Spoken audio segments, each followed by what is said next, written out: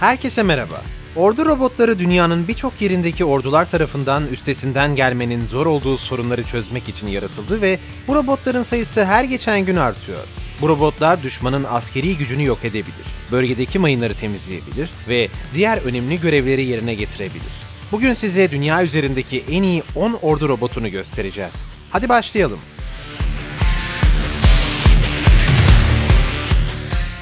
Ryan Metal görev uzmanı Ryan Metal görev uzmanı, birden fazla göreve hizmet edebilecek, üretim amacıyla uyumlu birçok sistemi kullanarak kuvvet koruma ve gözetleme alanındaki çeşitli görev profillerinin sergilenmesine olanak sağlayan insansız bir kara aracıdır. Araç tehlikeli ve ulaşması zor alanlarda çalışmaya uygun. Görev uzmanı, atlı ve yayan birlikler için operasyon etkinliğini arttırarak ve tehlikeyi uzakta tutarak güvenlik sağlıyor. Araç içinde bulunduğu şartlara uyum sağlayabilir ve oldukça modüler. Ryan Metal görev uzmanı, askerlerin her türden görevi başarıyla tamamlamak için ihtiyaç duyduğu birçok yükü aracın üzerine yüklemelerine olanak tanıyan platform özelliği de taşıyor.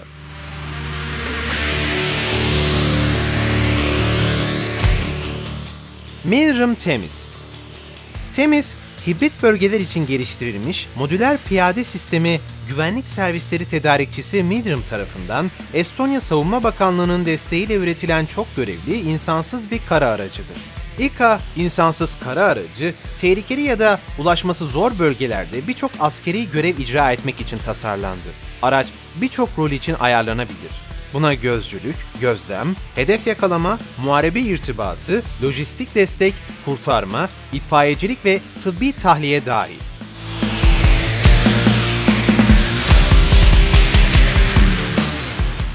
MAT Çok amaçlı kullanımı olan taktiksel taşıma aracı olan MAT, insansız bir kara aracıdır. Bu aracın iki modeli bulunuyor. Tekerlekli ve paletli. Amerika Birleşik Devletleri Deniz Piyadeleri Temmuz 2016'da bu robotu test ettiklerini duyurdu. MAT, askerlere eşlik ediyor. Askerler zorlu arazilerde yürürken taşıdıkları ekipman sayısını azaltarak yolculuğu daha kolay hale getiriyor. Buna ek olarak içerisinde mini silah olan birleştirilmiş silah istasyonu sayesinde MAT birliklere ateş desteği sağlayabiliyor. MAT karada hareket ederken 273 kilograma kadar yük taşıyabiliyor. Su yüzeyinde ise 136 kilogramlık yük taşıyabiliyor.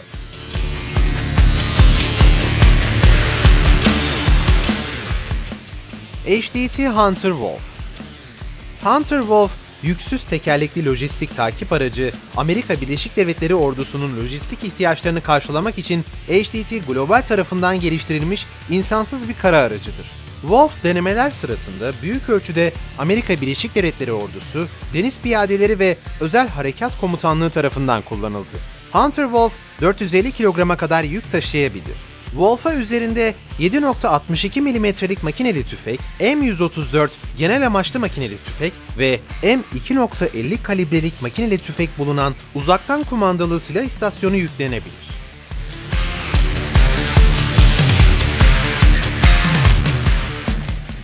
VIHR VIHR, robotik saldırı alanı keşif kompleksidir. Bu araç için UDAR ismi de kullanılıyor. UDAR ilk olarak 2015 yılında Rus Savunma Bakanlığı'nın yapmış olduğu buluş sergisinde görüldü. Robot birlikleri güçlendirmek, insan kayıplarını azaltmak ve tesisleri korumak için tasarlandı. Aracın silahları kara ve hava hedeflerine karşı kullanılabilir. Robotik ateş gücü ABM-BSM 30 uzaktan kumandalı silah istasyonu tarafından sağlanıyor. Silah istasyonu, kara ve hava hedeflerini tespit eden optik elektronik komplekse sahip. Araçtaki silahlar 30 mm'lik 2A72 otomatik silah, 7.62 mm'lik tepe ATM makineli tüfek ve koordine M8 AGM.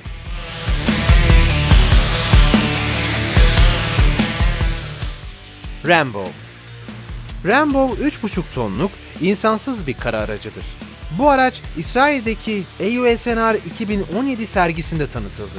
Rambo, gerekli değişken sistemlerin yüklenmesiyle birçok farklı amaç için kullanılabilir.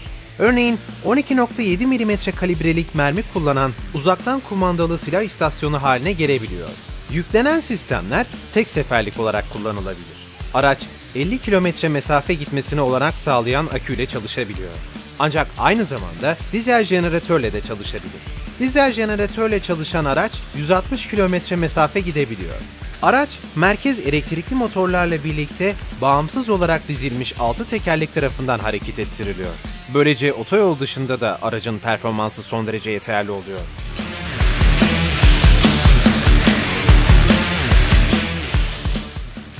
Black Knight Black Knight, prototip savaş aracı BAE Systems tarafından geliştirildi. Bu araç henüz gelişmiş robot teknolojilerini gösteren bir ön prototip. Araç şu anda Amerika Birleşik Devletleri ordusu tarafından test ediliyor ve geliştiriliyor. Black Knight, insanlı araçlar için çok tehlikeli olan görevlerde kullanılabiliyor. Araç izcilik, istihbarat toplama ve tehlikeli bölgeleri araştırma gibi görevlerde kullanılabiliyor. Black Knight 25 mm'lik top ve 7.62 mm'lik makineli tüfekle donatıldı.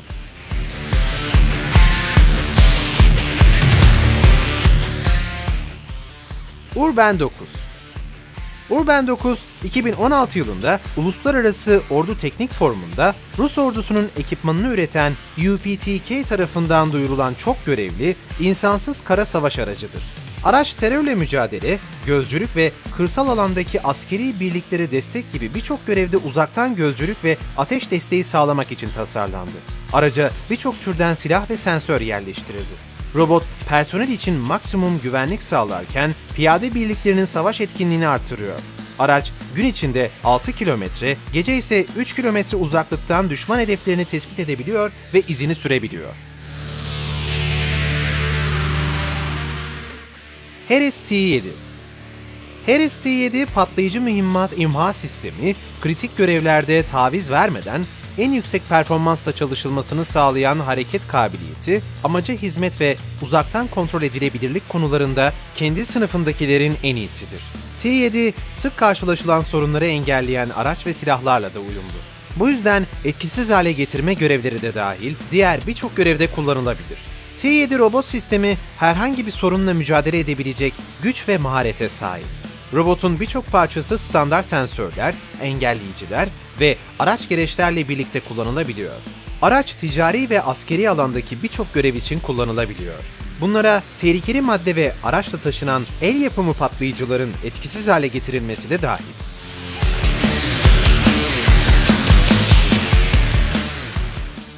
Phantom Phantom, uzaktan kontrol edilen mini taktiksel insansız kara aracıdır. Ukrayna devletine ait bu firma silah ithalat ve ihracatı yapıyor. Phantom, zorlu kırsal çevrelerde bile birçok görevi yerine getirmesi için tasarlandı. Görevleri arasında savaş, gözcülük, sonraki harekat merkezine cephane taşımacılığı ve yaralı hastaların savaş alanından tahliyesi bulunuyor. 6'ya 6 tüm tekerleklerden çekişli şasiyle Phantom aynı anda iki yaralı asker ya da 350 kilogramlık yük taşıyabilir.